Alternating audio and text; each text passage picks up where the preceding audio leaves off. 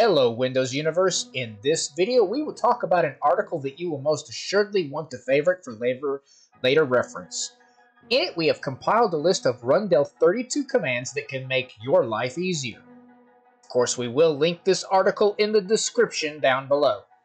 The interesting thing is that if any of the Rundll32 commands are one that you find yourself using on a regular basis, you can create a desktop shortcut to save yourself time.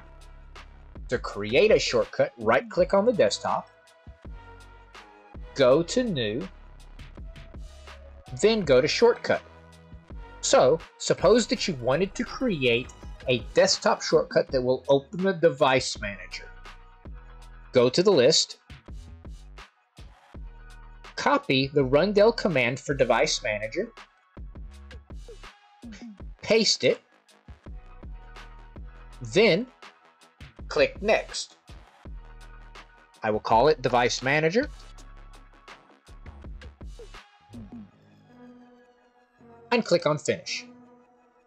From now on, all I need to do is double click on this icon. And as you see, the Device Manager opens up.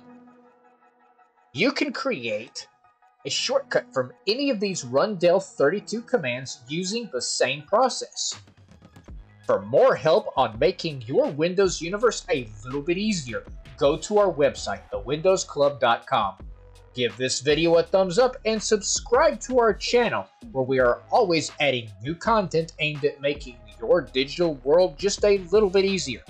Thanks for watching and have a great day.